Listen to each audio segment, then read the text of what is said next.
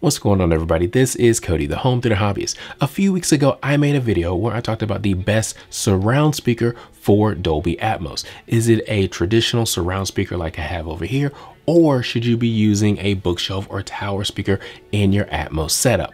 Now, if you didn't go watch that video, definitely go check it out. It is a great video, if I must say so myself. I'll leave a link in the description below, and you can also click on the card up above. But one of the comments, or I guess I got a few comments uh, on that video, but one of them that stood out was I didn't really talk about the benefits of a surround speaker in that video. And I didn't because honestly, I didn't really think that was the right venue for it, but I am going to talk about that in this video. What are the benefits of having a surround speaker like this one or this one in your room?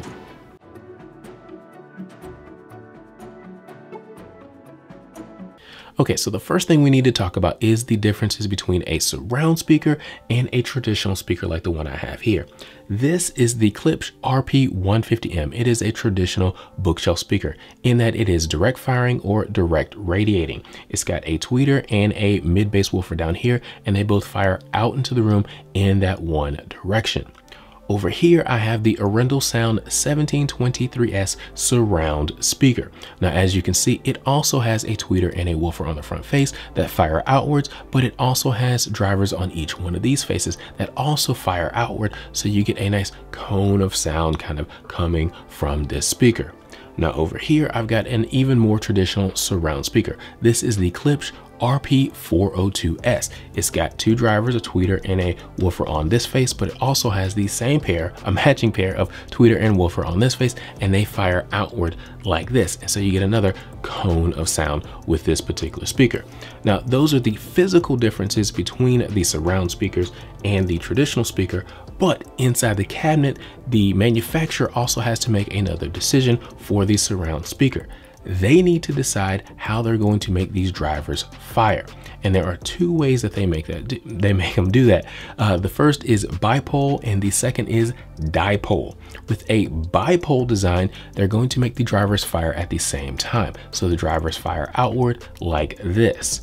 Whereas with a dipole design, the drivers are going to fire independently of one another, alternating pattern. So it's going to kind of pump sort of like this right here. And what a dipole design does is it gives you an even more diffuse sound compared to a bipole design. So if you want the ultimate in diffusion, you're going to be looking for a dipole speaker. But if you're kind of good either way, you can go dipole or bipole, either one. So those are the differences between a surround speaker and a traditional bookshelf speaker.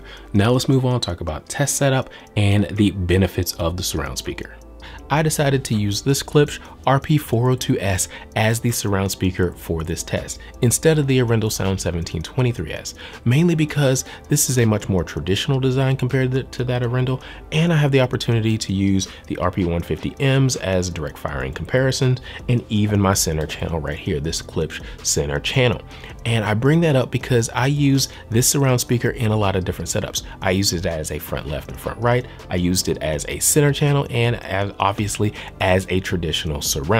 And doing all of that testing really taught me a lot about what these are best at and what, you know, where they lack. And let's talk about the first major benefit of having a surround speaker.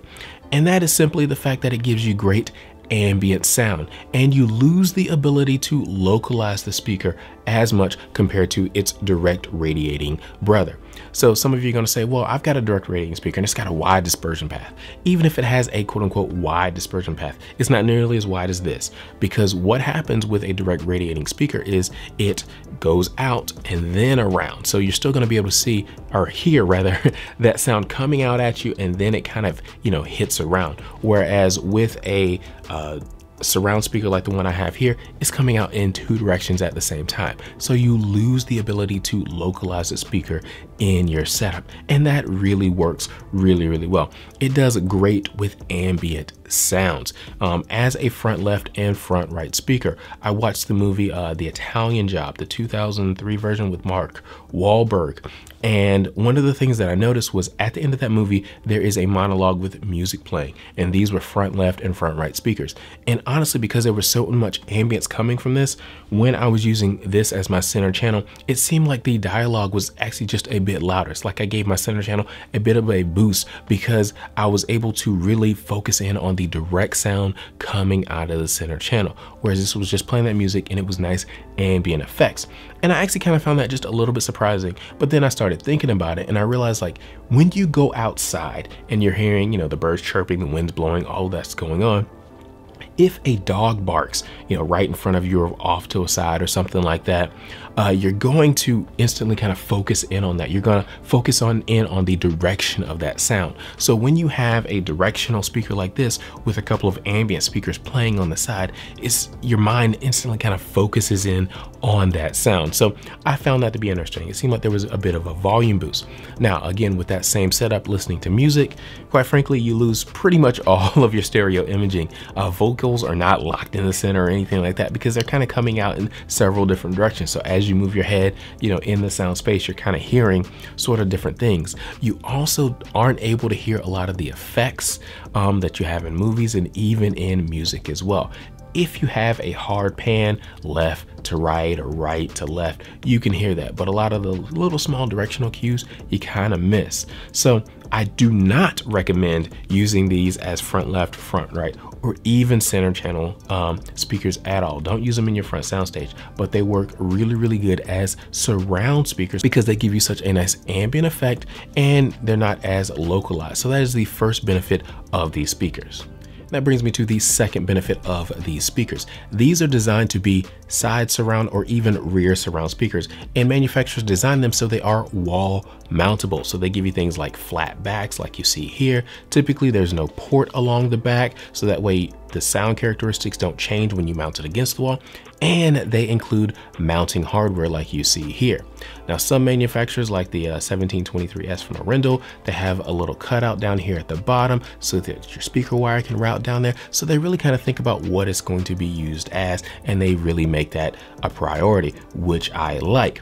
And what that gives us is it gives us a nice clean theater because they are mounted against the wall. You don't have to worry about speaker stands and stuff like that. But that also brings me to the third benefit of these speakers, and that is they are much more tolerable in certain situations. For some of us, our side surround speakers are right on axis, right in line with uh, the seating position. And what that means is sometimes you may have a direct radiating speaker firing directly into a listener's ear for that person that's sitting on the end. And that can be really loud. Well, if you have a speaker like this, one of these surrounds, it's actually firing out. So it's not firing directly in your ear and it's much more tolerable for that person that is sitting on the end. So that's another good benefit of going with this in your theater if your speakers have to be directly in line. Now, some of you are going to say, well, just move the speaker one way or the other. Well, sometimes that's not always practical. So it's nice to be able to have a speaker that doesn't fire directly in someone's ear.